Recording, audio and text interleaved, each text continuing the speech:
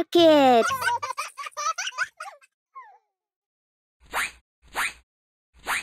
Subscribe to watch more videos. யார் சிறந்தவர் ஒரு அழகான மலை பிரதேசத்துல அரண்மனை ஒண்ணு இருந்துச்சு அந்த அரண்மனையோட இளவரசி அவங்க தோழிகள் கூட சந்தோஷமா விளையாடிட்டு இருந்தாங்க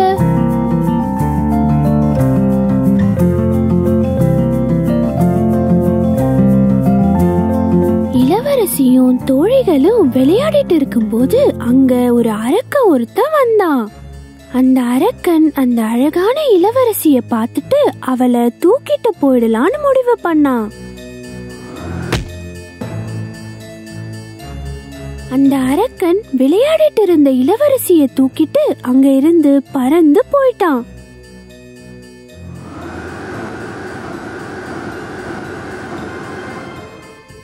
அரக்கன் இளவரசிய தூக்கிட்டு போனதை பார்த்த தோழிகள் ரொம்ப பயந்துட்டாங்க. தோழிகள் அரண்மனை காவலாளிங்க கிட்ட ஒரு அரக்கன் இளவரசிய தூக்கிட்டு போயிட்டான்னு சொன்னாங்க. அந்த காவலாளி ரொம்ப பதட்டமா அரசர் கிட்ட ஓடனா. பதட்டமா ஓடி வந்த காவலாளிய பார்த்த அரசர் என்ன ஆச்சுன்னு கேட்டாரு. காவலாளி விளையாடிட்டு இருந்த இளவரசிய ஒரு அரக்கன் தூக்கிட்டு போயிட்டான்னு சொன்னாரு. அந்த விஷயத்த கேட்டு அதிர்ச்சி அடைஞ்ச அரசர் முதல்ல நம்ம இளவரசிய காப்பாத்தி ஆகணும்னு சொன்னாரு. அரண்மனையில இருந்த புலவர் எனக்கு மூணு சக்தி உள்ள பசங்களை தெரியும் அவங்கள வர சொல்றேன்னு சொன்னாரு. புலவர் சொன்ன மூணு பசங்களும் இளவரசிய காப்பாத்துறதுக்காக அரண்மனைக்கு வந்தாங்க.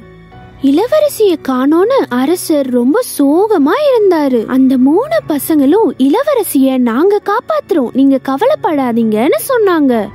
அரசர் நீங்க எப்படி அரக்கன் கிட்ட இருந்து இளவரசிய காப்பாத்துவீங்கன்னு கேட்டாரு.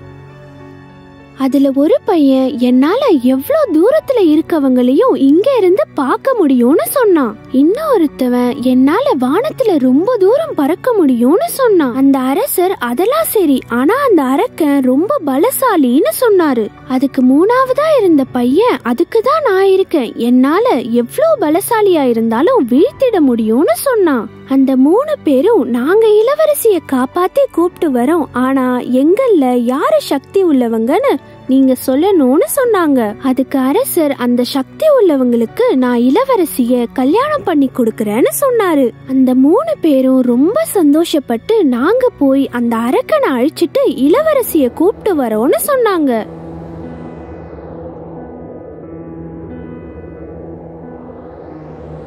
அந்த அரக்கன் இளவரசிய தூக்கிட்டு போய் காட்டுக்கு நடுவுல இருக்க பங்களால அழைச்சு வச்சிருந்தான். அந்த பங்களால இளவரசி ஒரு கூண்டுக்குள்ள என்ன காப்பாத்துங்கன்னு அழுதுட்டு இருந்தாங்க.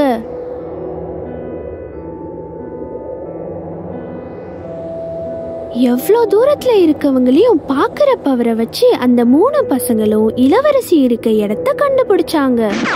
அடுத்ததா பறக்கிற சக்தி உள்ள பையன் அந்த ரெண்டு பேரையும் கூப்பிட்டுக்கிட்டு இளவரசி இருக்க இடத்துக்கு பறந்து போனான்.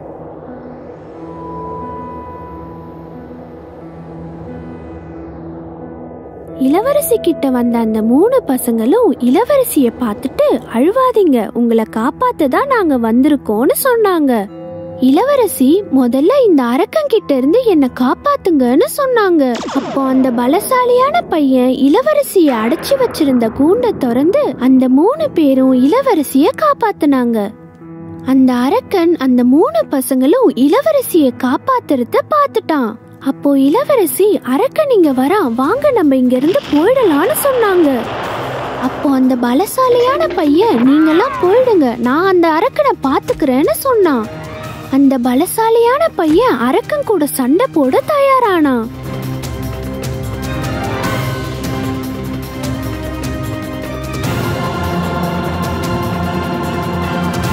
அந்த அரக்கனும் அந்த பலசாலி பையனும் சண்டை போட ஆரம்பிச்சாங்க.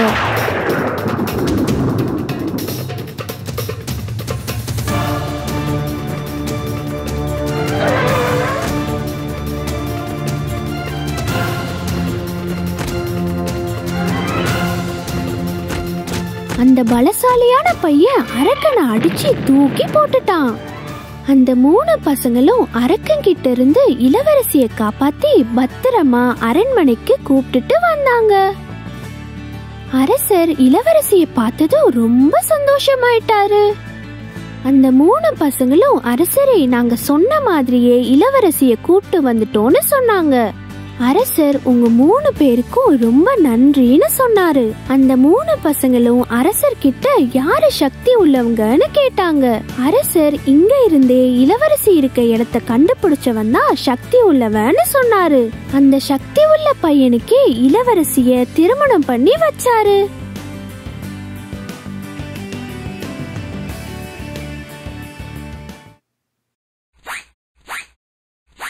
Subscribe. To watch more videos.